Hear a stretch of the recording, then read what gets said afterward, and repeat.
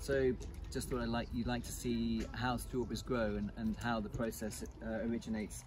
It starts with a plank of coir. We get about 15,000 um, of these planks in a container. And when they come, they they weigh nothing and they are completely dry. They've been compressed, so there's nothing in them at all. That's to make it cheap to ship. 15,000 in a container. We need 6,200 of these bags every hectare. And when they arrive, we lay them out and we add in a dripper. And the dripper hydrates them. You can see weight for weight, this is maybe 20 times the weight of that bag. So now the coir has been irrigated. We then take the bag and we puff it up like a pillow. So it's nice and loose.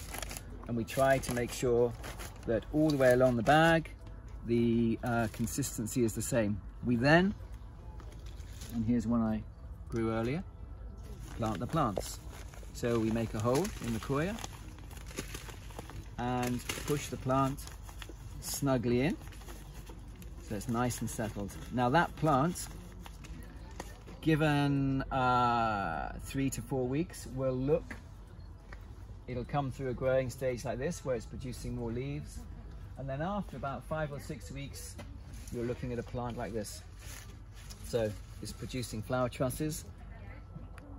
And if we go on a little bit further, you'll see green fruit. And then on a little bit further, and you will see almost ripe fruit. It takes about one month from a flower to open to a fruit to be picked. And then we have the final product. Lovely red ripe strawberries. So the whole process has taken about 50, 60 days from planting to harvest.